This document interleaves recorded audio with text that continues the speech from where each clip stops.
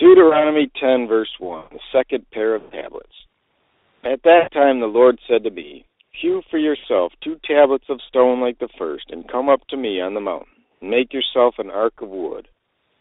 And I will write on the tablets the words that were on the first tablets, which you broke, and you shall put them in the ark. So I made an ark of acacia wood, hewed two tablets of stone like the first, and went up the mountain, having the two tablets in my hand. And he wrote on the tablets, according to the first writing, the Ten Commandments, which the Lord has spoken to you in the midst, from the midst of the fire, in the mountain, in the day of the assembly. And the Lord gave them to me. And I turned and came down from the mountain, and put the tablets in the ark which I had made. And there they are, just as the Lord commanded me. Now the children of Israel journeyed from the wells of Bene to Moserah, where Aaron died, where he was buried. And Eleazar his son ministered as priest in his stead.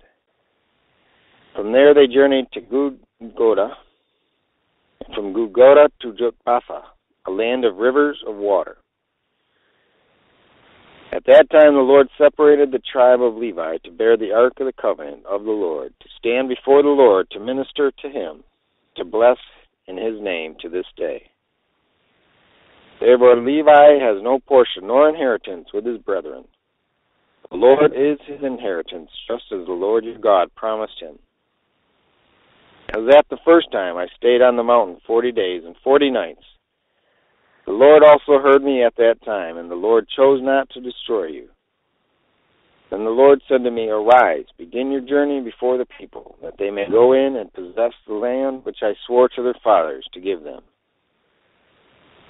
Verse 12, the essence of the law.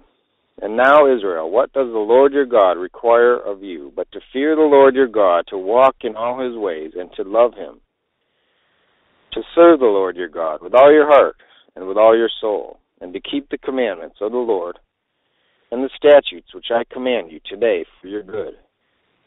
Indeed, heaven and the highest heavens belong to the Lord your God, also the earth with all that is in it. The Lord delighted only in your fathers to love them, and he chose their descendants after them, you above all people, as it is this day. Therefore, circumcise the foreskin of your heart, and be stiff-necked, stiff-necked no longer. For the Lord your God is God of gods and Lord of lords, the great God, mighty and awesome, who shows no partiality nor takes a bribe. He administers justice for the fatherless and the widow, and loves the stranger, giving him food and clothing. Therefore love the stranger, for you were strangers in the land of Egypt. You shall fear the Lord your God. You shall serve him, and to him you shall hold fast. Take oaths in his name. He is your praise, and he is your God, who has done for you these great and awesome things, which your eyes have seen. Your fathers went down to Egypt with seventy persons. Now the Lord your God has made you stars of heaven in multitude.